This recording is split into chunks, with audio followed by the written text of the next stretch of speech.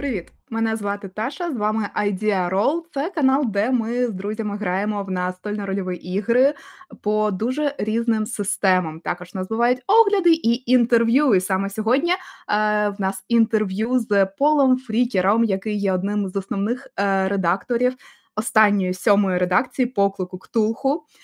Він розкаже, чи варто читати Лавкрафта, щоб водити чи грати в поклик Ктулху, дасть трохи інсайтів в свою роботу як автора і редактора. А також у вас буде нагода почути трохи українською української у виконанні пола. Приємного перегляду! Hello and welcome to Idea Roll. My name, as always, is Tasha, and my amazing guest today is Paul Fricker. Hi, Paul. Good evening, Tasha.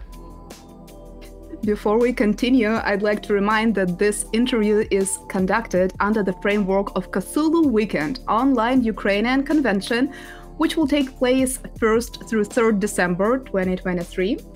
Uh, we'll add all details to the video description so you can uh, attend and enjoy. There will be Call of Cthulhu games, interesting workshops, and of course, an auction with cool prizes to support armed forces of Ukraine. We love supporting our defenders with and without conventions, so I will also leave links to the credible charitable funds and organizations uh, in the video description. And remember that there is no such thing as small donation, every bit counts.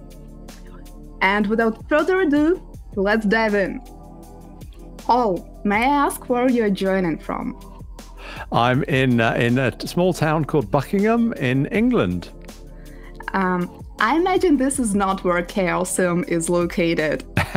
Chaosium is located all around the world. Uh, so uh, we have we have staff members in America, of course. We have in England, me and Mike, uh, in, and Lynn, and various other people uh, in Australia, um, in France, all sorts of places. We're, we're kind of pretty spread out. Now, this is amazing. Was it always like that, or was it an influence of, I don't know, COVID when many people switched to uh, working from home? No, I think it was before that because me and Mike started working on uh, seventh edition like around 2008. So, you Ooh, know, long way before. before. Yeah, way before that. So I think there's always been. It, you know, the core of it has, has always been in America, starting off in uh, in California. But then, you know, around the world, people start writing for it. Uh, so they wouldn't necessarily be staff members, but they'd be writing for it and making submissions. So, you know, Mark Morrison was, well, I presume he was in Australia. Uh, he was one of the early authors. Uh, and uh, yeah, a whole, a whole range of people. It, it, you know, brings the community together before even we had the internet. before the, wow, yeah. did, did you use was, like smoke fires? Yeah, that's it. Yeah. to signal. Um, well, does that mean you travel a lot, or uh, not really? Yeah, I, well, I don't know what you call a lot, but I travel. I like to travel, especially. I, I love going to America, uh, to Gen Con and some of the conventions over there. Uh, I travel around the UK to conventions. I was at a convention up in Manchester in, in England last weekend. Hmm. So part of the appeal for me is traveling around to conventions. Yeah, definitely. Well, cool, because my next question was about conventions, whether you visit them, whether you're enjoying or, or vice versa, trying to avoid them. Maybe it's too many in your life. Oh, right. Well, I guess that there are always more that I could go to, um, but I maybe go to, I don't know, maybe one a month, maybe as many as that, some months, none at all. Uh, so yeah, I mean, I, I, I just, it's just something I really enjoy. And I think I enjoy convention games as well. That's something I really enjoy because when you're playing with your home group, that's nice. Yeah, well, it's really nice, but it's a, it's a very familiar feeling. It's people you know. It's you know, it's people you're comfortable with, and uh, it's it's all great. But you, you get to know those people and their friends and everything. That, that's that's that's a one type of game. But going to a convention is a very different thing because you meet people perhaps you only see once a year. So that's nice meeting old friends. But also you meet new people, and that's that's great because you get to sit down with new people and make up, you know, stories. So yeah. uh, that's that's a lot of fun.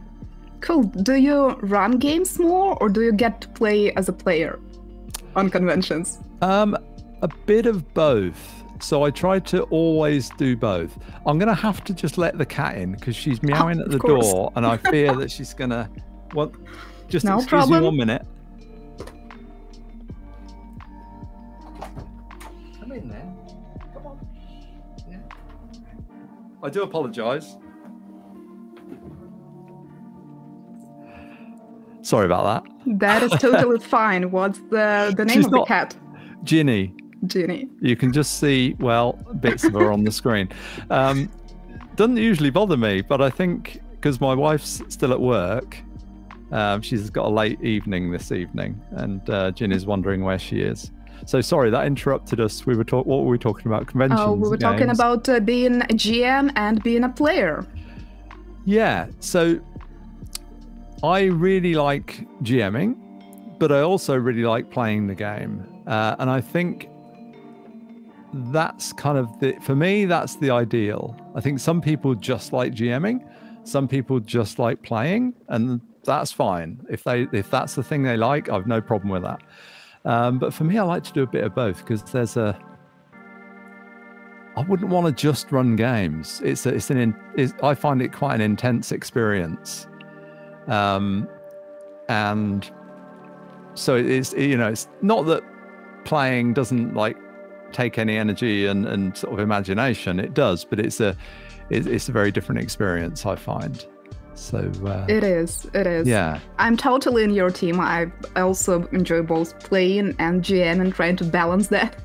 Yeah, I think so. I think that's the ideal, and I think you, as a as a as a player, or well, I don't know what to call it, as a as a player stroke keeper, you gain from both experiences. Um, so you get to see the experience from both sides of the table, which is uh, which is great. Um, do you play mostly Call of Cthulhu or other systems too? When I'm running, it's usually Call of Cthulhu. Uh, when I'm playing, sometimes Call of Cthulhu, but really, I try and play a lot of other games as well because, as a as someone who's designing rules, it's good to experience, you know, other mechanics and other other rule systems in other games, and you know how how other games sort of deal with with scenarios and, and everything. So, I mean, like at the weekend, uh, I was at uh, Grogmeet in Manchester and I played, let me see, Paranoia, which is an old game from the 1980s. Are you familiar with that?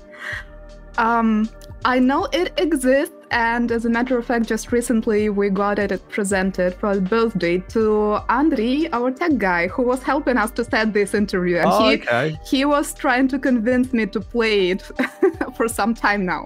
It's a very kind of high concept game. You know, you're, you're individuals, you, you live in a complex run by friend computer, uh, and you, you, you have a certain security level based on a color, and you every it's illegal to be a member of a se- secret society but everybody is a member of a secret society and it's illegal to and you have to do it's actually so, so as a as a player character you have a secret mission and you're part of a you know secret society. So but the great thing is people can die over and again because in this computer complex you have six clones.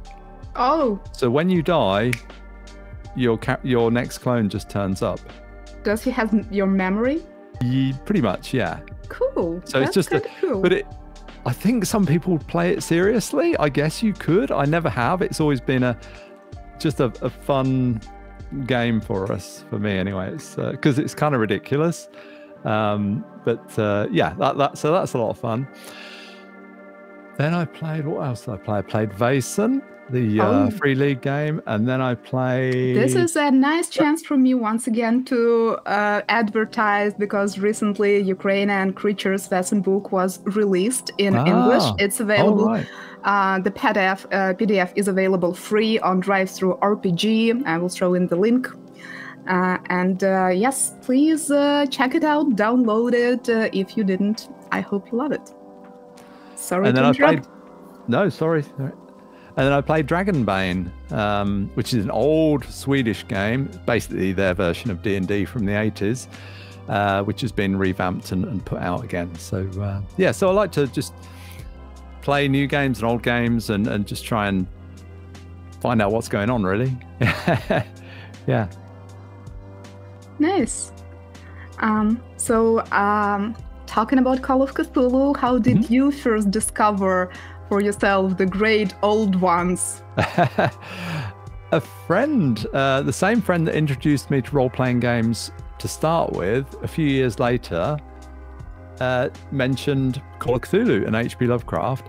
And he uh, he gave me a book, the novel, to, to read, well, collected short stories to read one of the stories. And I found that quite creepy. And then off the back of that, we decided let's get the role playing game because I'd seen the name in uh, in White Dwarf magazine, which was a magazine published in the UK, role playing game magazine. So I'd seen the name Call of Cthulhu, but I had no idea what it meant. Um, and I think this was back in the 1980s. And all I'd re- well, I'd played a few different games, but mostly of the kind of Dungeons and Dragons style which is, you know, obviously very, very removed from real life or the present day. And then, and, the idea of playing a game in which you played ordinary people in, well, either modern day or in the 1920s, we, we just couldn't figure how that would work. How would you do that? Um, so that was that was really intriguing, and also we both, we, yeah, I think we were both fans of horror, horror stories and horror films and so on. Uh, and so we got it, and I ran uh, Paperchase, which is uh-huh. in the uh-huh. starter box set, and just one on one, one keeper, one player, and it was great.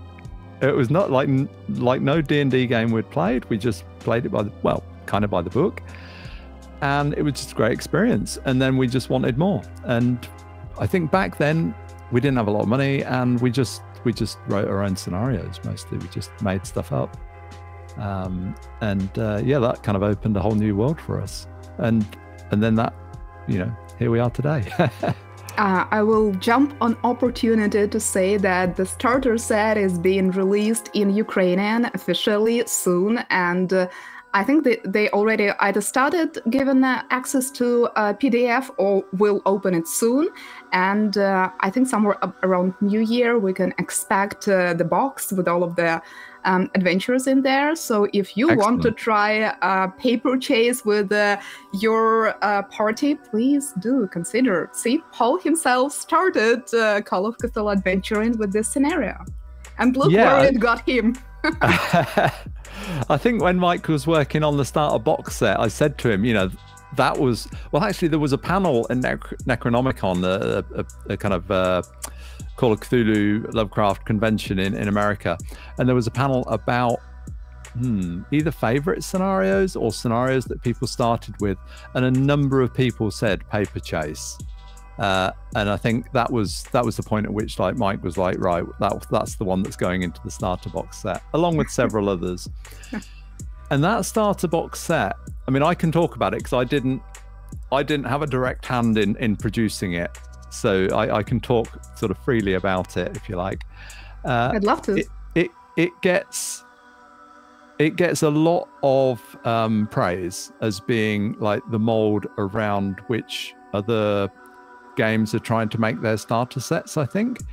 Um, and I did a I did a, a talk with uh, well I participated with the the Storytelling Cooperative, uh, who are a um, a website that run various courses online, and one of their courses is a Write Your First Adventure course, and it takes you through uh, how to how to write and publish a role playing game adventure. And I wrote the uh, the, the Call of Cthulhu part for it.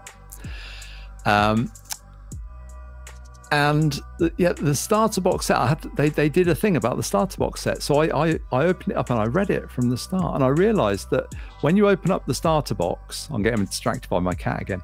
When you open up the starter box, the first thing you do, there's a solo adventure. And like within minutes, you're playing the game. You're playing a game as you make a character. You haven't got to sit there and read like pages and pages and pages and pages of rules before you can do anything. It it it leads you directly into playing the game, which is great. And then there's uh, an adventure for well, you play that solo adventure, which is fun, and then you then there's the one-on-one, which is uh, the one we just talked about, and then, then there's a couple more scenarios that you can run for you know a few friends. So and by the time you've got through the starter box, you're ready for anything. you can you could really run you know whatever Call of Cthulhu adventures you wanted then.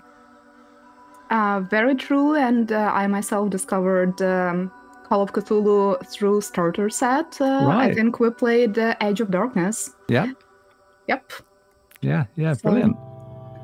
makes two of us. Uh, I just discovered that we have some questions from the audience. Uh, so, Oh, uh, okay. yep, they're asking what was the best convention you have visited? Oh gosh. Um, let's see. That's hard. The best one.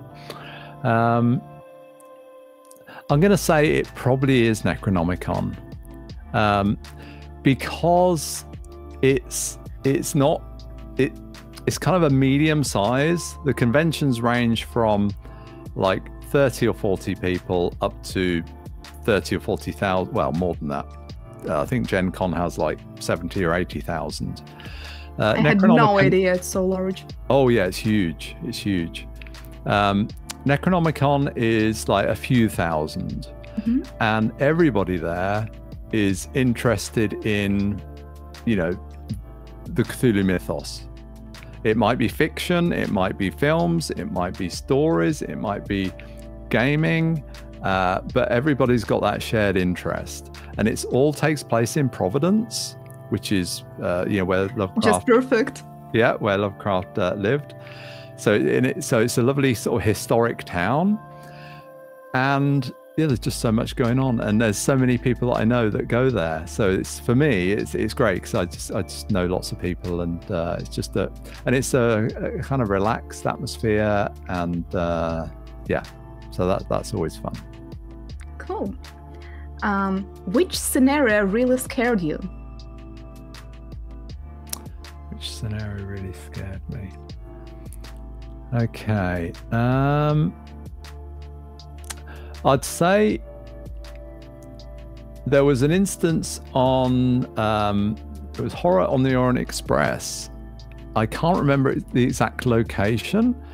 Um but there's one where we went over and there was uh yeah, it was kind of a, a creepy island. And I think the keeper actually because he liked ghouls, he added a bunch of ghouls into the into the into the scene, and Mhm. and that that it really came alive at that point. And uh, well, um, yeah, it was kind of creepy. We were creeping around crypts, and uh, there were I don't know. It was it was it was that that was a creepy one. I'm just trying to cast my mind back. I, I can remember some scenarios that definitely frightened some of the players when I was running. For Um, example, there's one called an unhealthy occupation. never uh, even heard. No, I mean there's so many scenarios. I think this was published in a in a magazine years ago. It might get republished at some point, but it's one where um you, you're in an old house, and well, this is kind of be spoilers, but that you're in basically you're in an old Spoiler house. alert! You've Yeah. been warned. Okay. You're in an old house to like look over all these collected old books. And you think you're alone in the house, that you're you're looking after looking over all these old books that the deceased person has left. But you're not alone. There's something else there.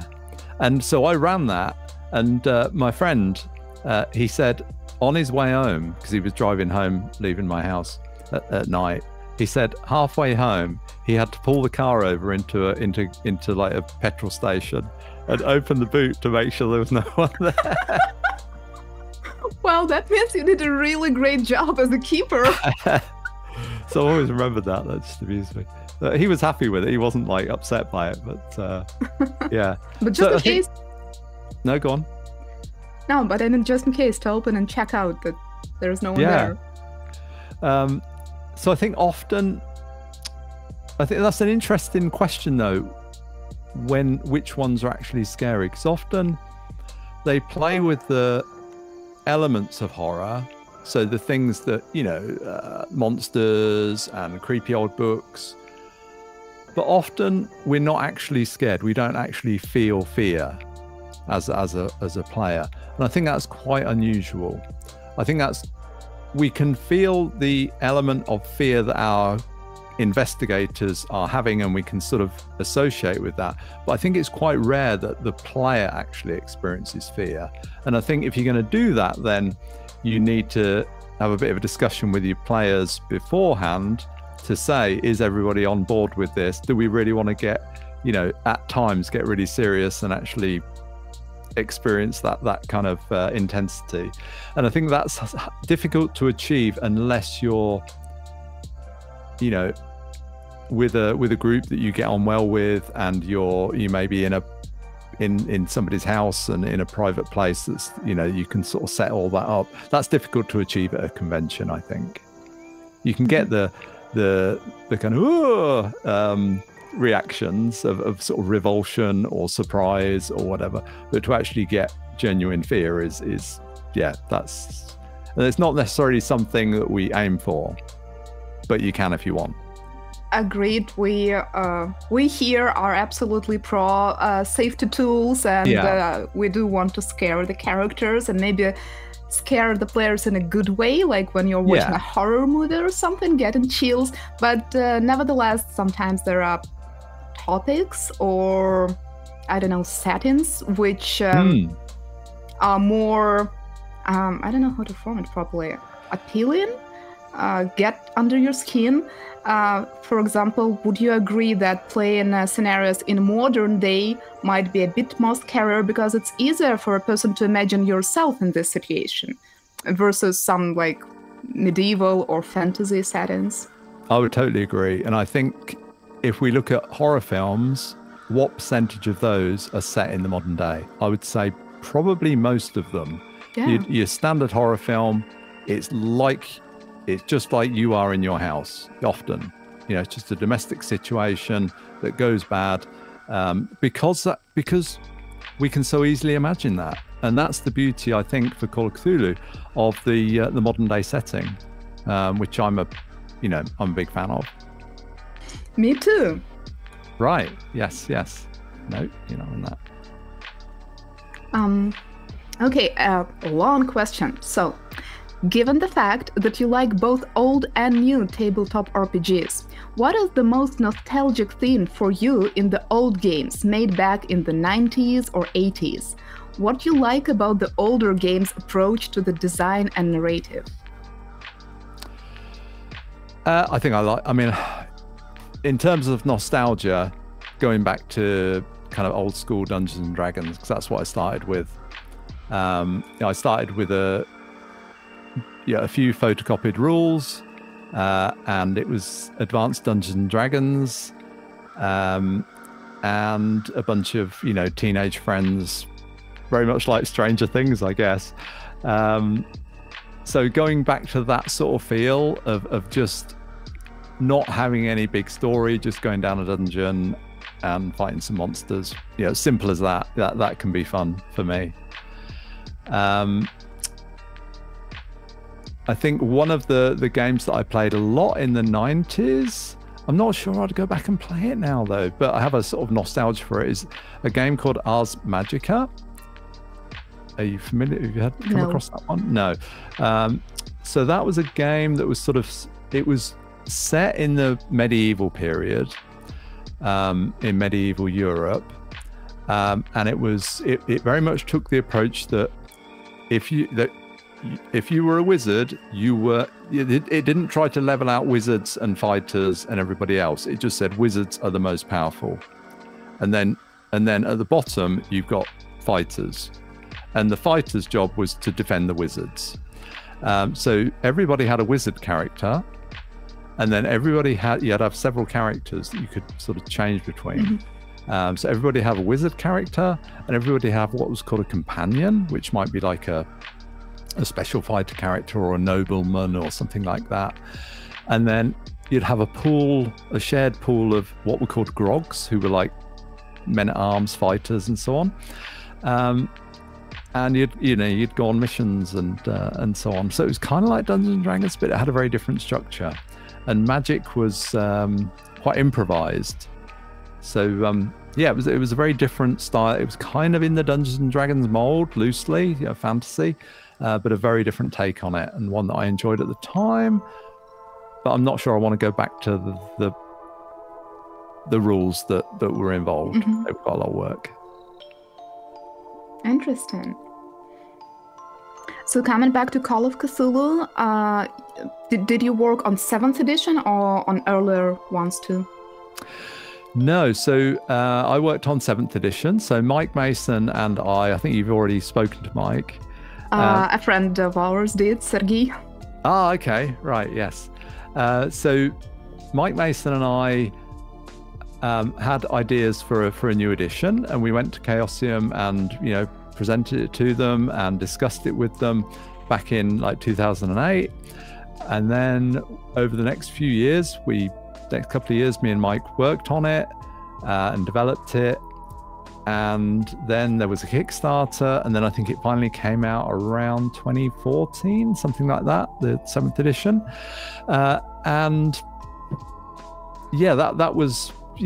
I, I had got a scenario, one or two scenarios out before then, so I'd, I'd published things for Call of Cthulhu prior to that. But obviously, you know, the rule book is the big, um, the the big sort of star item really in any role playing game. So getting to work on that was a, you know, uh, an honor and uh, and a lot of work. I cannot start to imagine. yeah, it kind of took over really, but um, but Oh. I'm I'm very pleased. Ginny, come on, my cat's being a nuisance. Come down here. Um, but I'm very pleased with the reception that it's had. Um, obviously, you bring a game, whatever you do, not everyone's going to love it, but I was very happy with the reception that it's had and the fact that it's been here for you know nearly ten years. I was just Um, about to say that an anniversary soon. Yeah, absolutely. Uh, so, yeah, I don't think there's much that you know Mike and I would really sort of change about it right now. So, um, yeah, no, we're very pleased with it. Um, how did you find or choose which things to improve or adjust uh, in the system when you were offering um, the new version, the new edit? Through personal experience, I don't know, uh, yeah, play testing. through personal experience, um, Mike ran a, a, a group called the Cult of Keepers, and they ran lots of games, Call of Cthulhu, just Call of Cthulhu games at conventions, and we'd write our own scenarios. So, and we did that for quite a few years. So there was there was a process of there was an aspect of writing, but there was an aspect of running games, and uh, there was an aspect of running other people's scenarios in the group. So you, I'd write a scenario and I'd run it, and maybe one of the other people would run it. They'd write a scenario and I'd run it as well. So we'd get to compare notes about how we run the game, and we'd run for a lot of different people. Um, and I think I've always been interested in rules. Um, and that's just always something that I don't know. I, I just figure everybody does it, but I don't think they do. So when I go and see a movie, often afterwards, I sort of find myself sort of thinking, "Oh, that was an interesting scene. How would you, how would, how would the rules handle that? Uh, you know, how would that, how would that fight scene kind of work? You know, how would that that work with with you know role playing game mechanics? Uh, or how would you simulate that chase? You know, in a in a in with with role playing game mechanics and dice. So I've always just been fascinated by that. Uh, and I was working on, you know, my own little games. And then, you know, I was showing those to Mike and uh, we sort of put our heads together and decided that, yeah, this could, this could be translated into Call of Cthulhu. Uh, and as we just, we just went through the whole book from cover to cover and just looked at everything. And we knew that a lot of it had got to stay familiar because we couldn't just start from scratch. It got to be familiar to the players who had been playing it for what was it like 30 years maybe. Um, so it got to feel similar, but we wanted to work. Well, we didn't want it to work differently, but we wanted to smooth some things out and present some what we felt were improved ways of doing things. Uh, and that was, you know, Well, Yeah. I, for one, am not familiar at all with previous editions. I've only played seventh, but Right. I've read and I've ran a lot of scenarios which were written for previous editions, and I Ah. find it super helpful that there are very clear and very short and easy rules how to um, uh, transition the Hmm. scenarios written for the previous edition to the 7e. So I'm Yeah. not limited at all if I want to to run something from previous um, scenarios, and this is amazing. I, I find it very helpful. Yeah, and whilst it has changed, it is easily, as you say, it's easy to uh, convert older scenarios to run in modern day. It's yeah, it's really not not very difficult. Not not exactly in modern day, but I, I mean the scenarios which were written for for fifth or For the- sixth edition. I yeah, can you're right. I can run them with seventh with I no misspoke problem. when I said modern day. I meant the modern Okay, edition. Okay, yeah, I was yeah. worried like No, no, no. I, yeah, that was me. And uh, yeah, I had a quick sneak uh, look in the chat, and I must say the chat is loving your cat. Oh right. I think she's got. I think she's got bored and gone away now. But Well, yeah. maybe she'll she'll reappear. I'll, I'll step away and she can take over. Um, okay, a question which I love asking people um, uh, who, how do I put it, uh, who write for Call of Cthulhu role playing game. Mhm. Does one need to read Lovecraft to be able to run or play Call of Cthulhu? no. Thank you. but can you please elaborate? Okay.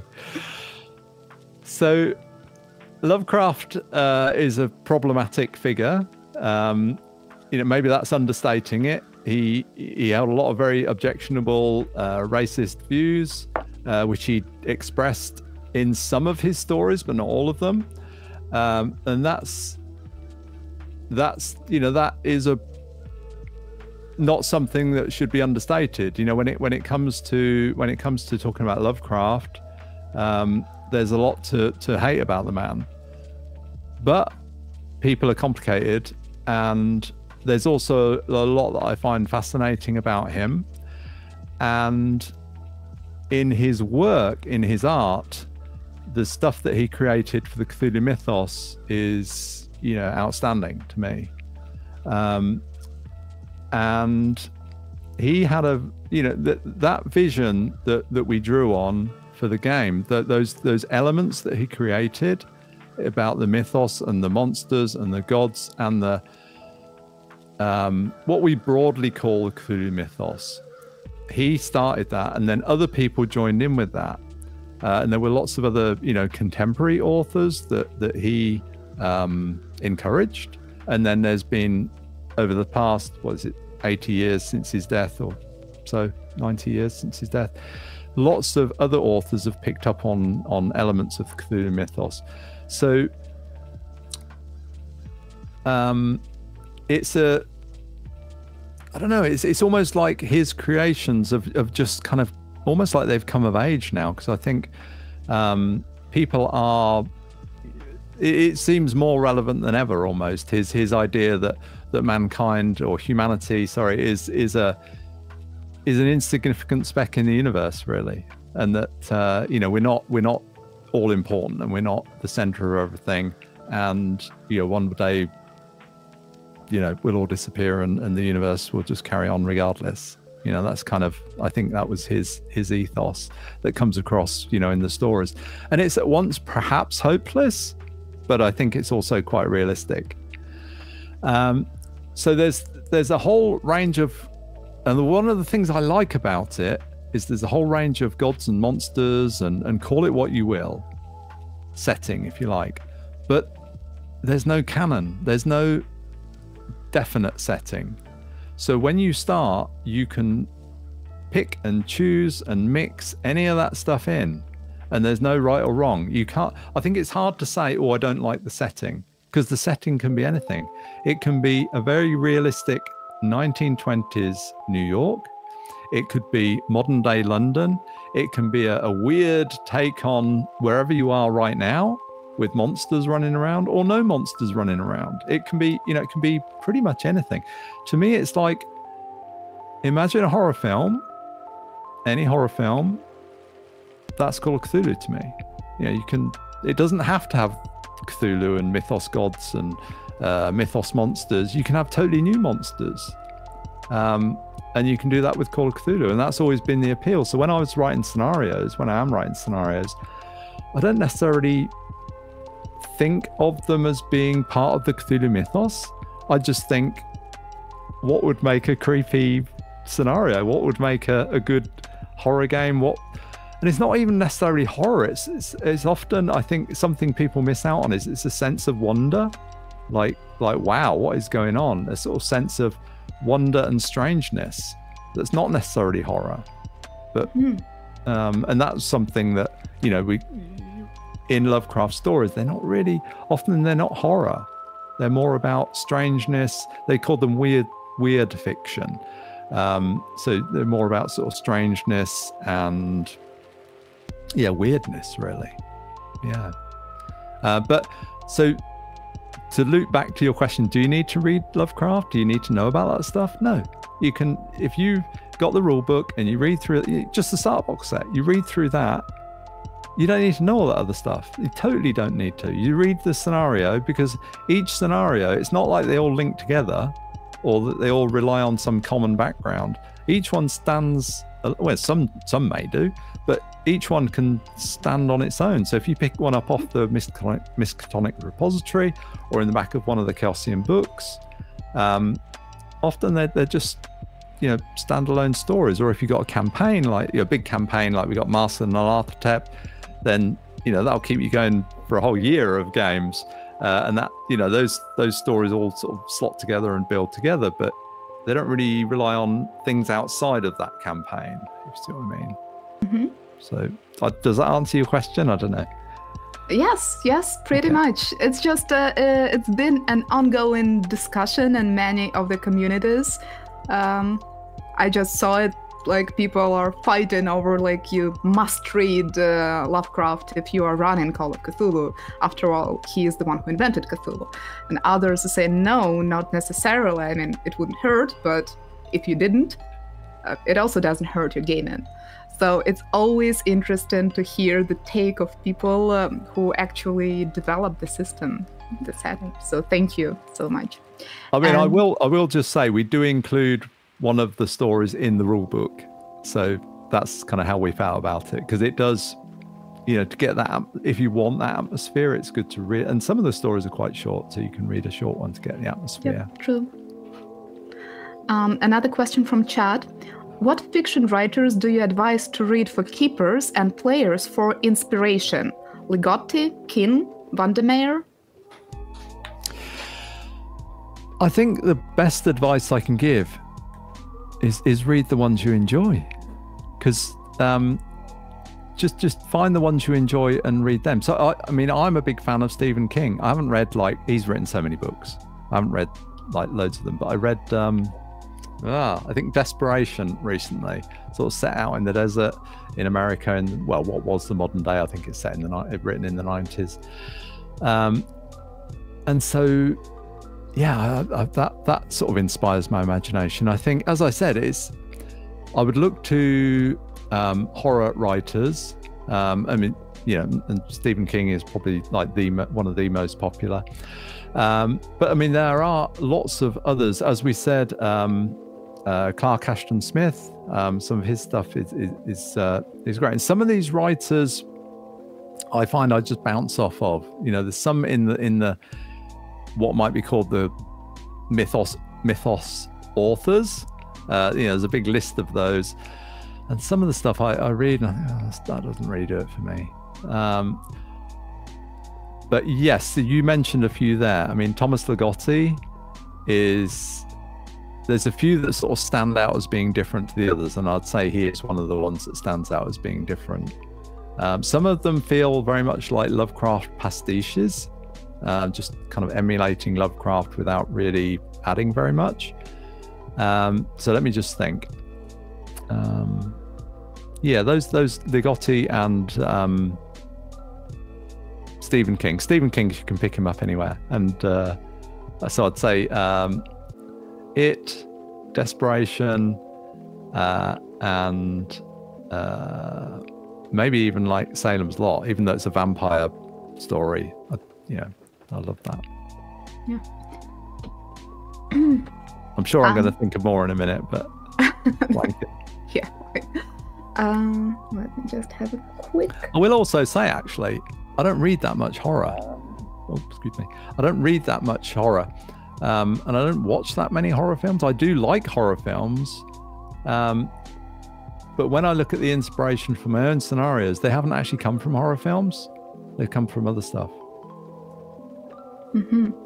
Uh, what about detectives? Um, Call of Cthulhu has a big component of a detective story of finding clues, piece- piecing them together, talking to witnesses or whatever. So, um, would you pick some of your favorite detective stories, movies, or books? Something that uh, really Uh, well, I would, if I was going to go down that route, I'd probably say True Detective.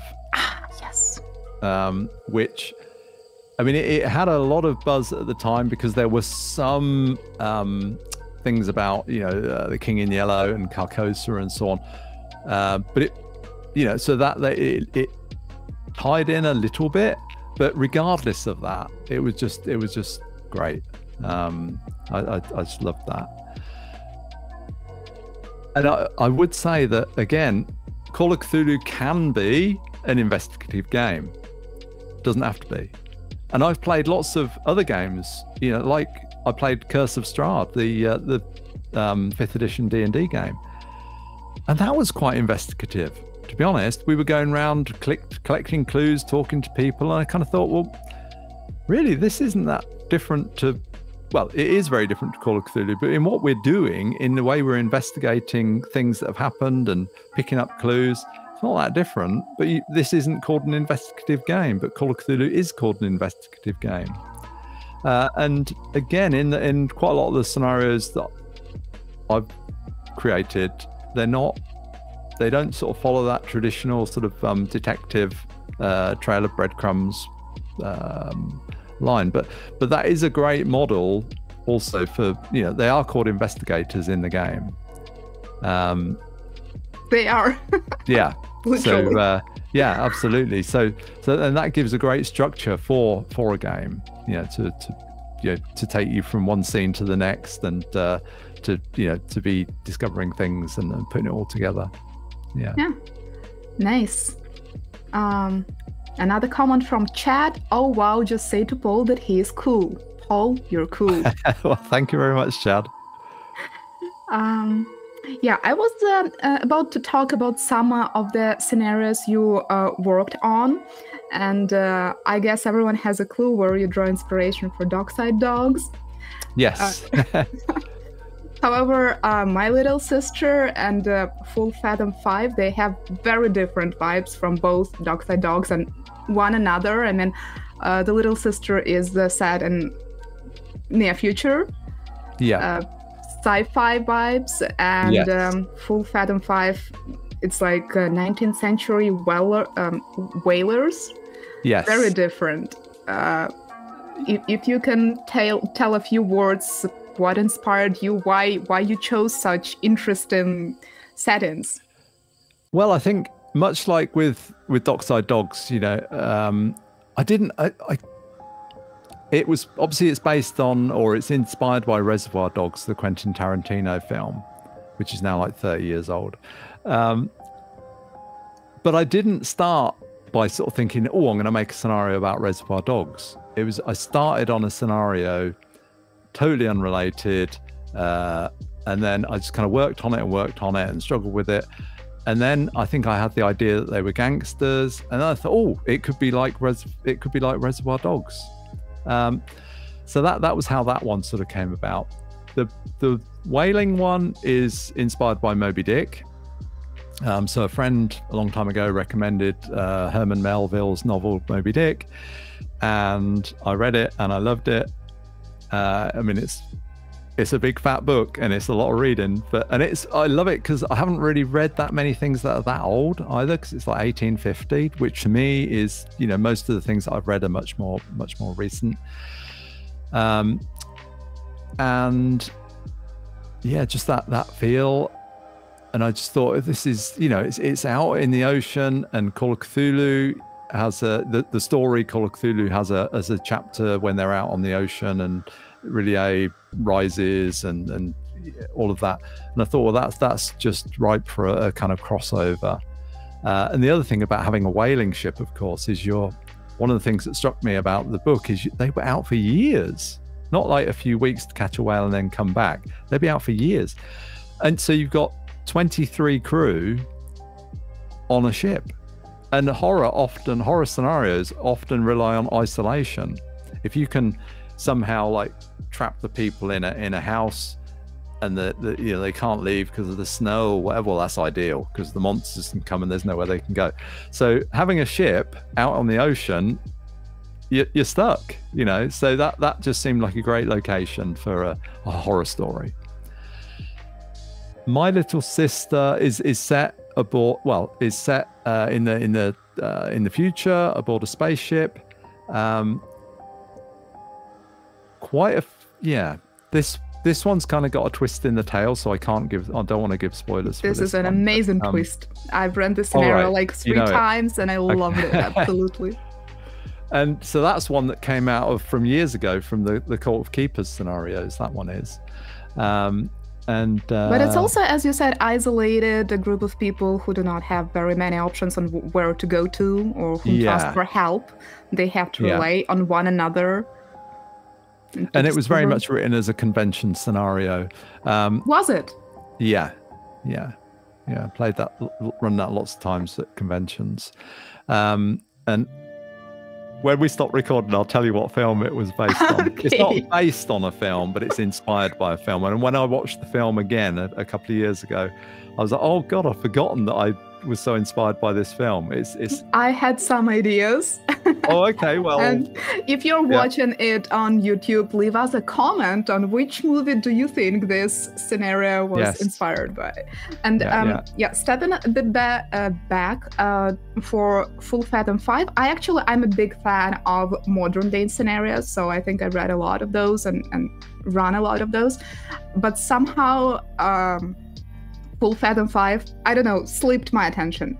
Probably because of the setting and topic. And just about a month ago, a friend of mine, we were talking about different scenarios, and he's like, Yeah, but Full Fathom 5, I was like, I, I never heard of it. And he's like, Yeah, by Paul Fricker. I was like, I know Paul, Paul Fricker's scenarios. I love them. I never heard of this one. So I just played it about a month ago.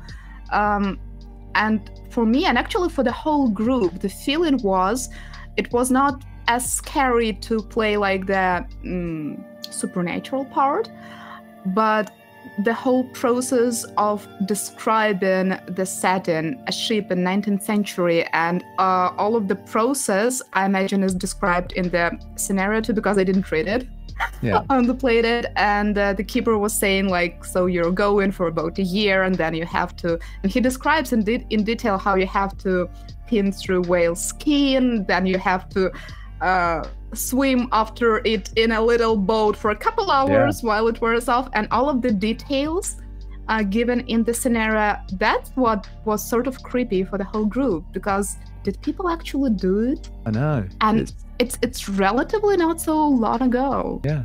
Yeah it's really not that long ago. Um yeah it's it's mind-boggling you know what what was involved. Yeah tha- that's that's what i meant that when i read it i sort of thought i had this vision that whaling ships went out for a you know a few days or a week or two to catch a whale. I, I had no conception they were out for years. Um and uh yeah it just sounds grueling you know but you know many people's lives well uh you know I can be very believe difficult. for me, Call of Cthulhu is the game which is very um, enlightening because every time when I'm preparing uh, for a game as a keeper, I'm doing research and I'm discovering so much things for myself, uh, be it a, a period of time or some specific country or I don't know, discovery. There is always something to Google and to, to learn. Um, Yes. So I imagine you're also doing a lot of preparation when developing scenarios. Yeah, you're right. I mean, sometimes I'll leave a bit until the end. I think, oh, I'll leave I don't know, like the floor plan of the house. I'll, I'll, I'll, I'll just sketch it out by hand and then I'll try and find an authentic one later. And then you go start doing research about houses in that place, whatever, you know, wherever it might be, you know, for example. And then you start finding out things of, of that period and about the, the architectural, you know, whatever it is. And, and it starts to uh, give you more ideas about your scenario, is what I find. So when you start doing research, um, often it can just be, I don't know, just strange things or interesting things or things that you didn't know about that, that will not only inform the scenario and give it background, but they can also trigger ideas in your head. Uh, you sort of think, oh, well, I didn't know that they did that thing, but that that ties in with my ideas in some way, or I could adapt that. So I think that's what you're looking for is is partly background information just to give a sense of place and time to make it feel realistic, and that can be modern day or whatever. But also partly inspiration, uh, as you know, when you're writing to to anything that sort of sparks your imagination, you know, grab that with both hands and and run with it. And. Uh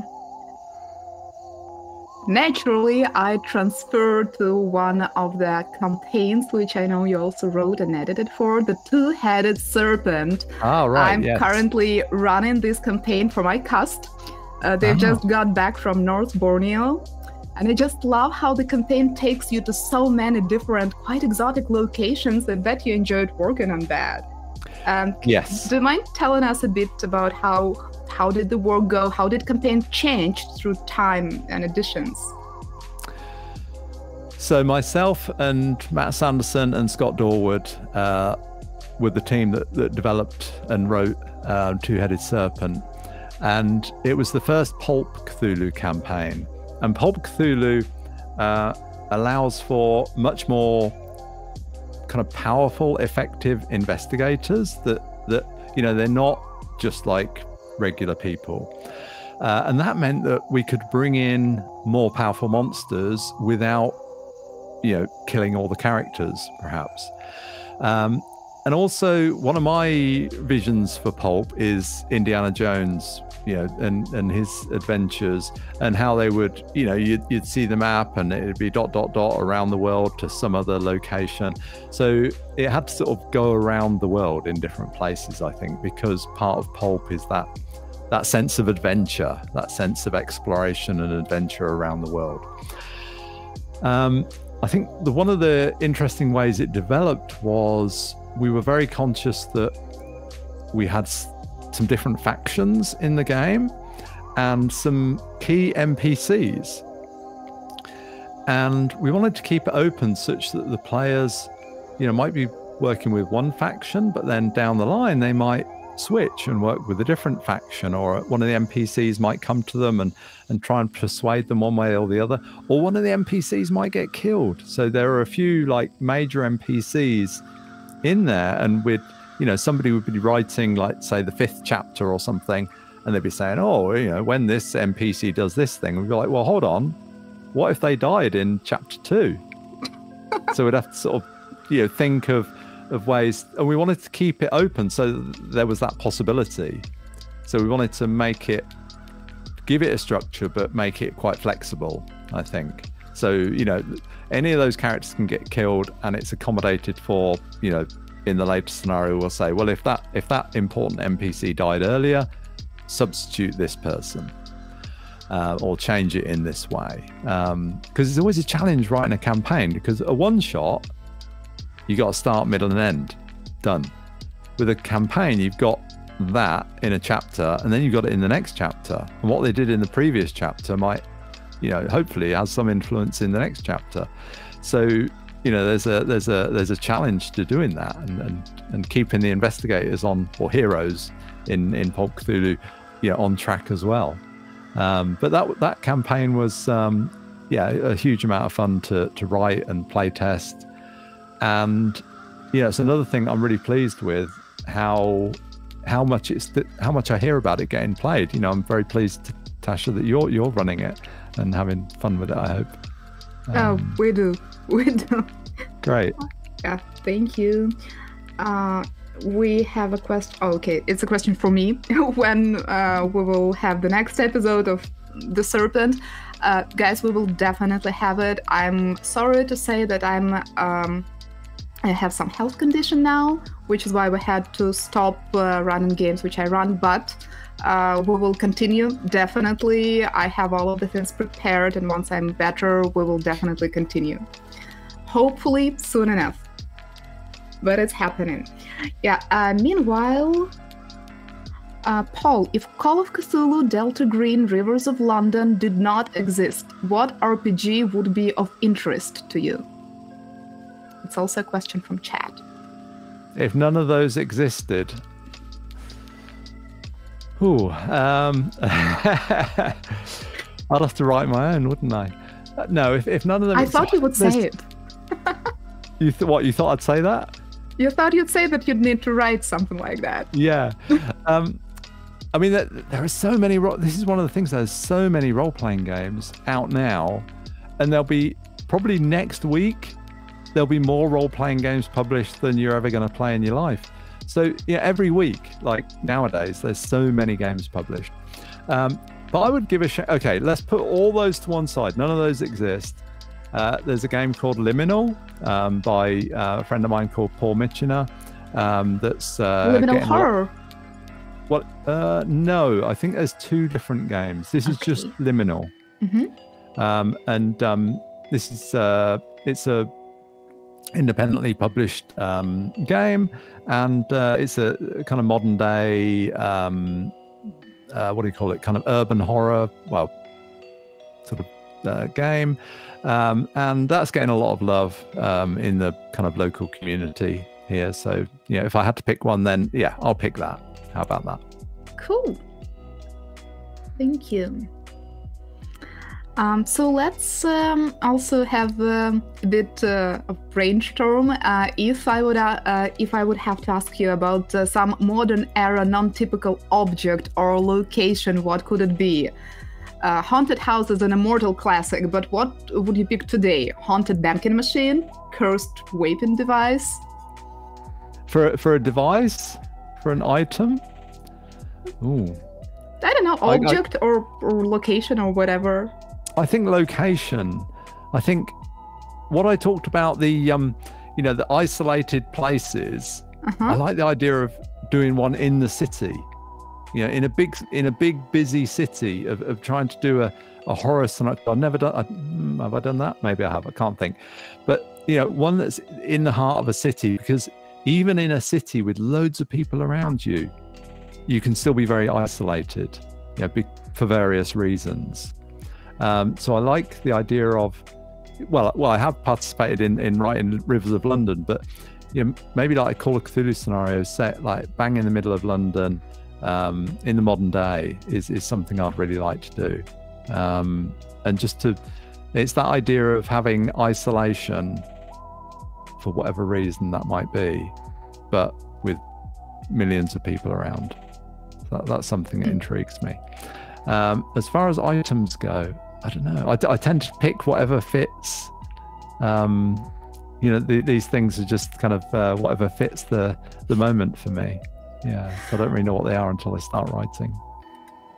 Uh, very true. We had a, um, a friend of mine just told me um, we were. Uh, I was helping her to playtest a scenario for Call of Cthulhu. Uh, the first one she wrote for the system, and she did it on a challenge. So three people gave her three random words, and out Ah. of that she made a scenario. So Right. uh, it was a very unusual way to write um, a detective slash horror scenario. It is, yes, yes. But it also challenges you in many ways how to Oh, put all of the things together. Yeah. I think she, she she had a coffee machine, an umbrella, and um, cinnamon for words. Oh, that sounds difficult. I'd go with fountain pen. That's what I think I'd pick. A haunted, a haunt. Well, not haunted necessarily, but a, a fountain pen could could uh, is an interesting item because you know who might have used it before, um, and you know what might it write when you're you, you know you're not thinking and you just got it in your hand and it starts writing words all on its own. That kind of that intrigues me. fun. Minute, looking through my notes. Oh. Um, so, what are you working on now? Can we get some sneak peeks or announcements, or what can we expect um, Okay, yes. in I'm near future? what am I working on now? So there's a few things uh, that we're working on with Chaosium. Uh, one of them is has been talked about, so I can I can mention that. So that's a um, there's a collection of scenarios called Mansions of Madness Mhm. that's already published, but we've that was titled Mansions of Madness Volume One. So we've now got Volume Two, so that's coming out. Ooh, Um, nice. So I edited the scenarios in that and went through and and uh, uh, that was that was something I I developed. Uh, I've got a couple of other things that I'm working on with them that I don't think I can talk about right now. I mean, it's not like they're ultra confidential. We don't tend to put the things out simply because these things can take a long time. And if you say now, people in a month's time, people are like, "Well, where's that thing you talked about?" They're like, "Well, I know exactly the feeling. um, but what I can say, and I, I'm- feel bad because I've been talking about this for a well over a year now. I've been saying I'm going to get this thing done. You see, This is why I shouldn't mention it because I mentioned this in interviews about a year ago, I think. Um, so I've got a, a scenario called Gatsby and the Great Race. That that was the first one I published, getting on for 20 years ago. Um, and I'm just today I've been actually working on that to get that uh, a new edition of that put out because that's not available at all at the moment. Um, and that's a an unusual game in that um, it can be played as a traditional one keeper, you know, and up to six players, or it can be played with up to 24 players in different groups and about six or seven GMs. I've heard about it. I actually tried to to find it, but I failed because the concept is absolutely fascinating. I was like, how can one pull something like that? I would love to to have a look behind the scenes, but I, I couldn't find the um, the book. Well, uh, if if well, I've got your email. When when it when I've finished it and it, and it comes out, I'll send you a copy. Thank you so much, and we we all um, hope that the new edition will also uh, come to life sometime soon, so that ever, everybody can enjoy it. It will. It will. Yeah. And uh, we also have um, a comment from Chad that uh, people hope uh, that they will be able to see these um, scenarios in Ukrainian. We surely hope so too, and we have uh, we now have an excellent uh, localization. Uh, Geekach is working on it, working hard, and I know that they already have plans for future books localizations too. So let's support that's- them let's let's buy some uh, uh, starter sets boxes now when they're still on pre-order and show them our support um, with um, buying the books that's actually the best support you can give to the um, editors and, and publishers so yeah Yeah, yeah, definitely. Great. Mhm. Well, my next question was about the plans, but you sort of answered that um, already. And uh, yeah, our last call for the questions from the chat. If there is Mhm. anything else, guys, you would want uh, me to ask Paul, this is um your opportunity. And um, yeah, also, if sorry, if you're watching this uh, on YouTube uh, in the future, it's future for us, but this would be present time for you. Uh, let us know in comments if you want to see some run throughs of uh, uh, other Paul scenarios on our channel, Dockside Dogs, or Little Sister, My Little Sister Wants You to Suffer, or Full Fathom 5, which we've been talking about uh, today. Uh, we will definitely take it into consideration uh, because I I love the scenarios. Uh, would be fun to see if you guys are interested. So let me quickly check. So let me ask, can I, whilst you're looking for the next question, Tasha, Yeah. can I ask you a couple of questions? Of course, by all means. So, so what's out in Ukrainian already? Is it just the quick start you said? Uh, yes, we have a quick start with the haunting scenario. It's Oh, already that's- out. Uh, the PDF is free, and uh, uh, you can uh, buy print on demand, uh, printed on demand version. Right. Um, it's really affordable, and uh, the starter box set is now in work. I think PDF is either already available or for those who pre-ordered or will be available soon. And yes, we are waiting for printed copies. Very right. excited, and. Um, yeah, I know that there are some plans to to to localize some more books, but I'm not allowed to talk about it oh, anymore. okay. No, I know how that is. Yeah, yeah. Yeah. Yeah. I mean, but, both of those are great because they give. Also, they, they're really good for, for new players who, who aren't familiar with the game because they give the rules in a you know a condensed form of the rules as well. And but you could use the quick start or the you know the rules that are in the starter box set yeah, you can use that just to go on and play lots of other scenarios. Yes, um, yes, exactly. I'm personally, I, I hate reading rules. I'm just, uh, uh, I'm terrible. I lose attention all the time, and for me, it's a nightmare. And what I loved uh, about Call of Cthulhu when I started GMing it, it was just a few pages, and you're done, yeah. and you can start playing, and you can play the scenarios from the box, and you can play any other scenarios, or you can invent something uh, yourself and this is really enough and then when, when you have more questions it's super cool to go to the keeper's guide and to yeah. to discover all of the little details but i personally believe this is the best starter set i i saw yet i, I must say i didn't see like a whole lot of starter sets but sure. i've seen a few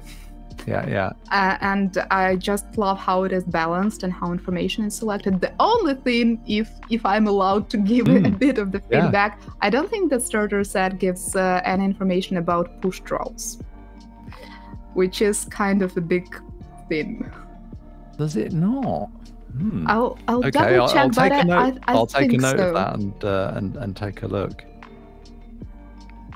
It will be very embarrassing if I'm wrong. oh well, no, I'm sure you're right. Yeah. Uh, well, we have a last question, I believe. Uh, okay. Uh, question about the detective part of the scenarios. How to mm-hmm. balance riddles and puzzles in scenarios or campaigns so that it is not too difficult but also not too easy. How do the authors themselves do it? Okay, I mean, when it comes to puzzles, you know, let's call it puzzles, you know, riddles, anything where you've got to figure out a solution, put pieces together and figure out what's going on, or an answer to a riddle, or a, you know, whatever it is, something that needs to be figured. It can be it can be something that the player's got to figure out, or it can be something that the investigator is going to figure out. And some people love figuring that stuff out. Some people hate figuring that stuff out. So I think you have to offer both solutions. And obviously, if you're playing with people you don't know, then this isn't so easy. But if you're playing with a group that you know, then, you know, in that sort of initial setup, ask them, you know, try and figure out do, what, what sort of game do they like? Do they like figuring out puzzles and clues and codes? In person. And if they like doing that, then then you can give them that stuff. But otherwise, if they say no, we don't really want to be doing loads of code breaking and, and putting puzzles together ourselves, then it can be done with um, dice rolls. You can use intelligence rolls or education rolls or whatever to, to figure things out. Um, so, as with many of these things, there's no single answer. It, the best answer is work with work try and work with your group to to work in a way that, that they enjoy because uh, that's one of the things about particularly with well maybe not particularly with call of cthulhu but so, certainly something we're very aware of with call of cthulhu is different people play it in different ways. Uh, and you can't be too prescriptive about this is how you must do it because you know that that's something you you know, the more different people you play with and the more different groups you get exposed to, the more you realize that lots of people enjoy it in different ways and they want different things. Um, so when it comes to how, I mean, you also sort of said how how how do you pitch the difficulty? Um, I think we go through the scenarios and we review them in such a way as to make that there's a you know if it's an investigation there's a path through the there's more than one path through the investigation. That's important. And it's important that there aren't dead ends. Um, so because you want to you want to give the feel of there being an investigation and the feel of some um, challenge. But you don't want to get halfway through oh you got a cat too. I've got two. You don't want to get halfway through the investigation then they're like well i don't know i give up you know so there always needs to be a way through and that can be that maybe they don't figure it very well and rather than that stopping them, that makes life more difficult for them in terms of the challenges that they then face. So maybe there's, you know, if they if they figure things out and do really well, there's kind of a, a maybe a, a, slightly easier way through things. And if they go down the, the bad routes or they don't figure things out so well, then they're, they're you know their lives get harder. But it's not that they the game comes to an abrupt end ever. It should always be a you know a route through. Thank you. Uh, another question from Chad What was the most uncommon theme that inspired writing something? Oh, most uncommon thing.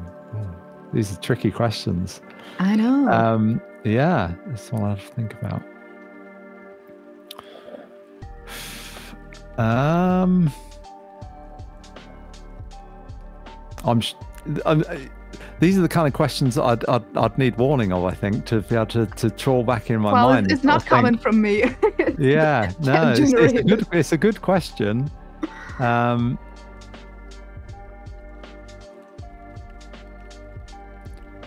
probably some, yeah, I don't know, mundane things, but I don't know. I'm, I'm, I'm going to throw one out. This isn't really answering the question. Um, but there was one scenario around, and uh, I don't know if this is going to work, but the, the, it was just about some cakes. Well, it was the scenario cakes. wasn't about cakes, but there was an instance when the, they were offered some cakes, and they were made by. The, implication was the cakes were made by this person, but the, the the players already knew that this person had died like weeks ago. Oh. Um, so it was a really mundane thing that just um, caused a, a, lot of um, intrigue, I think, because it implied that this person was still alive. Um, so sometimes really mundane little things, when you put them into the scenario, they don't have to be big mysteries. Sometimes little mundane things can can uh, trigger people's imagination. Um, equally, I can remember like one of the carrots went up in the attic and they said, Oh, what, what's in the attic? And I said, Oh, well, there's some boxes. And they were like, What's in the boxes? And I just said, Oh, curtains. Just because that was the first thing I could think of. I hadn't even planned that they would go up in the attic. and they got really fascinated by the fact there were curtains. Why are there curtains? Oh, well, why would you put curtains in the attic? And I'm like, I don't know. I just figured that might be something people would put up in the attic in a box. Um, so, yeah, Sorry if that didn't answer your question, Chad, um, but that's the best I could come up with off the top of my head. Thank you. Thank you. So we are finishing uh, with not the last question, but with a comment. Thank you, Paul. It was very interesting. I appreciate the insight. Tasha, the jacket looks great on you. Thank you. Thank you. Oh, now the last one also coming in. I also heard that you created a course for writing scenarios where it can be found if it is still available. Yes, that's one I referred to earlier. The, so it's the storytellingcollective.com. I'm just going to quickly Google that and just make sure I'm I've got the name right. Story. Um, I'm pretty sure I've got that. If right. you can send me the link, I'll share it with the chat. Yeah, great. Yeah, I'm pretty sure it's Storytelling Collective, uh, and so that they're the group that I was talking about that do all the, the different courses, uh, and that so there's that one about writing your own adventure and that is still available. What they used to do was they used to do a sort of a, a start all the people together, all the sort of new people doing it, they'd start like a couple of times a year. But now I think, if I'm not mistaken, they, it's just a rolling thing, so you can you can enroll at any time. So it costs a little bit of money. It's not it's not a huge amount of money, but there's there's a there's a fee for it, and but you do get a lot for that. And I've had a lot of people. I'm not the only person that's written for this course. It was an established course already. Um, but there's been a lot of people that have um, you know gone through that course and uh, found it very helpful, and then gone on to write and publish their own works on the Miskatonic repository, which mm-hmm. is the the Call of Cthulhu um, sort of community content page on DriveThruRPG, uh, which is a great resource. There's tons of great stuff on there. Um, yeah. Um, okay, this will be absolutely the last question, okay. Chad. I'm sorry, we need to le- let Paul go. And uh, this is not an easy or short question. Oh, okay. Maybe you have some quick advice for people who are planning to write their first scenario. Yes, I do. And I wrote it all down and I put it in that course. But I think my my my main advice would be write a scenario that you that that, that you're excited about. Don't try and write a Call of Cthulhu scenario like other Call of Cthulhu scenarios. Because I think a lot of people start and they think it needs to be in the mold of other Call of Cthulhu scenarios. Use the format that we use, where it starts with introduction, uh, keeper information, um, uh, persona, uh, what's it, what's the word? Uh, dramatis personae, and then scenes, and then conclusion, and then the character stats. Use that format. Look at the modern scenario format that we publish. You know, the recent scenarios in, and use that as a template to put your scenario onto. But you know, just just whatever excites you about a sort of a horror scenario, uh, just just run with that. You know, it doesn't have to. It doesn't have to use the published monsters. It doesn't have to use a, a, a standard setting. It can be, you know, whatever you want it to be. It can. It's really flexible. So, um, yeah, don't feel constrained. If I may add a little mm. bit from my experience, what I love about Call of Cthulhu setting and, and concept, you can just take anything you like, anything which inspires you, anything which scares you, and say, well, that's just the new avatar of uh, yep. or this is a new creation of Shub-Niggurath. And there you go. It's in the setting, but you can invent whatever whatever you like. Uh, it I've does done... not it does not go it does not have to go strictly under the monster manual or something. Exactly. Yeah. Yeah. I mean, you can go. We've got a big book of monsters called the uh, Malleus Monstrorum. Yeah. Um, and you can, you know, some people like to go to that and just leaf through that and look at a monster and say, "Oh, I'm going to make a scenario about, you know, based around that." Um, other people look uh, for for interesting places in the world and make a scenario about that. Or they or they're particularly interested in an event that you know might maybe there was some event that happened you know in 1973 and they're going to do a, a scenario based on that. Or they're interested in some public figure and they're going to you know fictionalize them and, and make it about that. So there's there's so many different starting points that you can pick on. And really it's just you pick one because you're interested in it. Because I'm, I'm excited about that thing. It's it's got my attention. You know like i said i read moby dick and that was it's whatever is going around in your head. I think it's sort of just a way of if you can work a way of sort of making that into a into a scenario um, if that's the way your mind works then that's that's the way to go i think.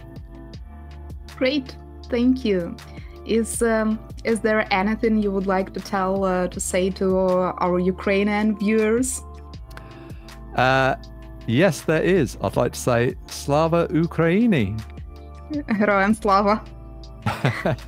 Thank you for your support. Thank you so much for joining us uh, tonight and answering all of our questions. Thank you, Chad, for being here. Um, if you're watching this on YouTube, please like and subscribe and leave us a comment because this is how we know that you like what we are doing. And this is a great uh, support. Thank you one again, once again, and uh, see you later. Thank you. Bye.